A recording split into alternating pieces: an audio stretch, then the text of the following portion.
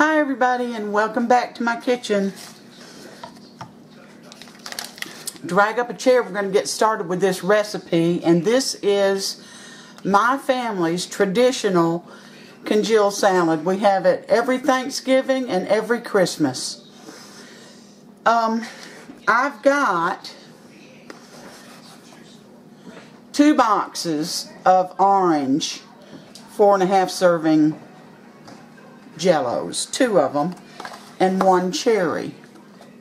Now you can use all cherry, or you can use all uh, raspberry. Whoops, I'm having trouble with this thing. Um, I don't know how to make it tighten up. There we go. Maybe that's it. Or you can use uh, raspberry you can use um, black cherry. But anyway, uh, it would normally call for three cups of boiling water. But we're only going to use two cups.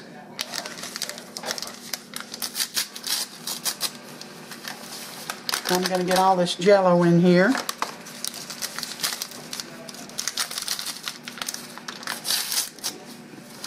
And I'm using the orange because I, I just happen to like that citrus. I like orange and I like it in my um, in my congealed salad. Some people may not. They can use all cherry or all raspberry. And now we're going to get this stirred in.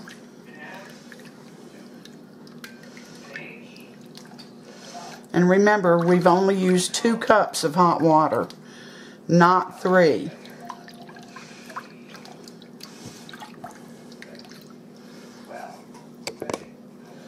There we go.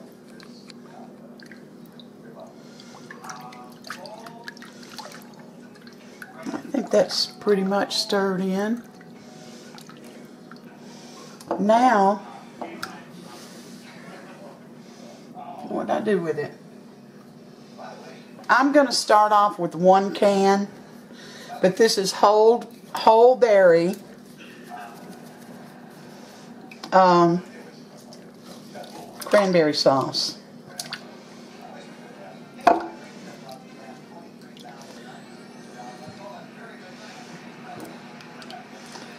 And while this jello is hot, I'm going to add it. Although, you know what? I got this at Aldi's. I don't see any whole berries in here. Mm, one or two, maybe. It wasn't jellied. I'm going to show y'all. Whole berry cranberry sauce. And there's a picture of it. And I'll be darned if I see a whole berry in here.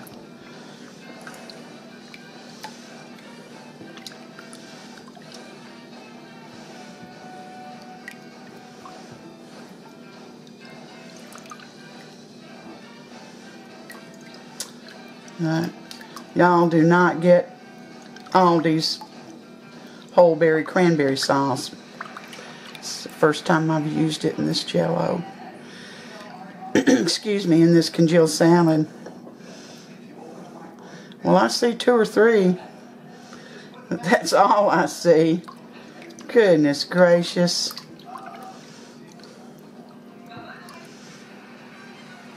I'm going to get this all mixed up in here so there's no lumps. Okay, y'all, I, I found uh, a can of ocean spray in my cupboard, whole, whole berry cranberry, and there's supposed to be two cans in here, so although it's not going to have as many whole berries as it should, we'll just have to go with that and be happy with it. All right. Still a little warm. Um, Now, let me see if I saved the can. I did. This is a 20 ounce can of crushed pineapple. And I drained it. I drained it into a, a bowl. I'm going to add the pineapple to this mixture.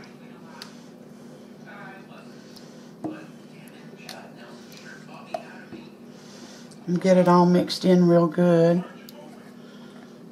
But I saved the juice. Here's the juice. It came to about one cup of juice that came out of it. And the reason I did that is because we're, we've got to add two cups, not three, two cups of cold water. And I wanted to know where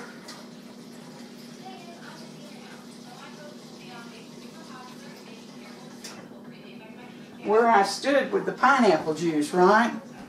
So you got a lot of liquid in here with the cranberries and the uh, pineapple, so you're not going to add as much liquid.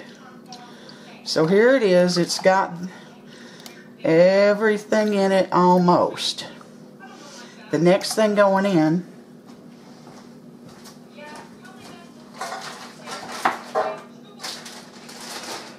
is chopped nuts. And I'm using pecans. And this package is two cups. So I'm going to put about half of them in there. Now, this, if you just let this uh, put it in the fridge and leave it like this, everything is probably going to settle to the bottom. But you are going to put it in the refrigerator. and then every half an hour or so, you're going to stir it till it gets thick enough that everything uh, will stay when you stir it. Will stay in the middle, on the top, or wherever. So, we'll be back. Hi, everybody. This has been in the refrigerator for two or three hours.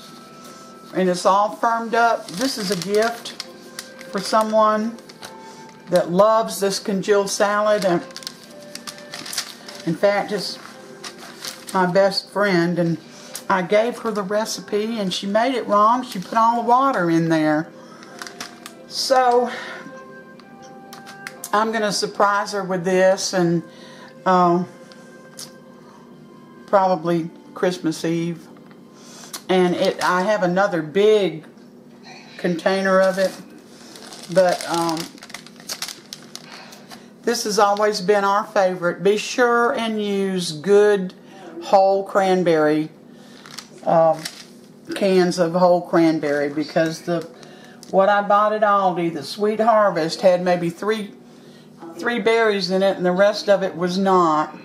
So, and remember what I told you, it's three boxes of the four ounce size of um, Jello. And then instead of using two, a three, um, instead of using three cups of hot water, you only use two and you dissolve that in. Uh, you drain your 20 ounce can of pineapple and you save the juice, reserve the juice.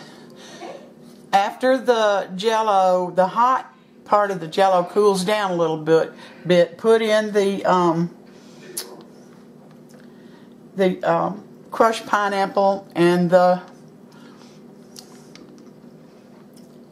uh, cranberries.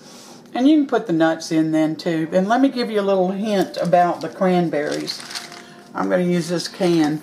When you open your can of cranberries, put a fork or a knife in there before you ever take it out of the can and get it all broken up. And then put it in there. Don't slide it in out of the can because you'll have a hard time getting it apart. Um, then, let's see, where was I? Okay, after you, you, you put your your nuts and a cup of nuts, 20 ounces of um, crushed pineapple, reserve the juice, two cans of whole cranberry sauce, and I, I told you a cup of nuts. Then, whatever is amount of um, the pineapple juice you had, add enough cold, cold water to make two cups. Then stir it all up, put it in the fridge, and go about every half hour and stir it so that everything gets mixed throughout and not laying on the bottom or laying on the top. Then when it gets good and thick, you're done, baby. That's the end of it. It's it's um all it has to do is completely gel and this one has.